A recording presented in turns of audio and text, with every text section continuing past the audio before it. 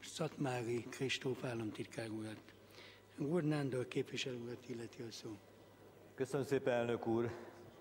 Közszolgák sokfajta panasztal állhatnának elő, mondhatnák azt is, hogy hogy van az, hogy négy éve egyetlen egy fillére nem változik a köztisztviselő illetmény alatt, tudja az a 38.650 forint, de most nem ezt a részét, hanem pont azt a részét közelítjük meg, amelyet a média is felkapott már az elmúlt napokban, hogy az állam nem tartja még a maga által elfogadott munkaügyi és adójogszabályokat sem saját alkalmazottjait sem becsüli annyira, hogy ezeket a törvényeket és jogszabályokat betartsa, ellehetetleníti őket. Mondjuk egy munkahely váltás kapcsán, akkor, amikor nem készülnek el azok a munkaügyi igazolások, amelyeknek az utolsó munkanap átadása kell, hogy kerüljenek, ez egy jogsértő magatartás, és ilyenre vannak példák.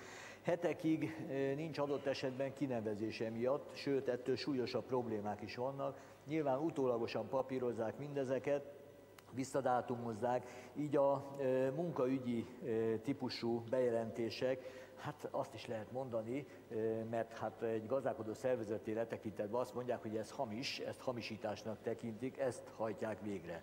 A vállalkozásokat ezért, ha ilyen típusú folyamatok zajlanak a kereteik, kezeik között, akkor kőkeményen bírságják a NAV-nak, a munkaügyi felügyelőségnek az emberei. Én nem az ellen vagyok, hogy ez a bírság ne kerüljön kiszabásra, de hát hogyan és miképpen gondolják önök komolyan azt, hogy önök viszont az állam maga nem tartja be ezeket a szabályokat, és önöket semmilyen konzekvencia nem érinti e kapcsán. Hol van az a fajta példamutatás, aminek lenni kell? Súlyosabb esetben még odáig is el lehet jutni, hogy elmaradnak a bejelentések 20-áig, és ezért fizetést sem kapnak az emberek. Két egyszerű kérdést teszek fel.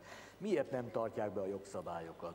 És hogyan várhatják el másoktól, hogy akkor mások ezt betartsák? Konkrét választ kérek, konzekvenciák és következtetések valójában, és követ, a következtetések után a számonkérések hol maradnak. Elnök úr, köszönöm szépen! Köszönöm szépen!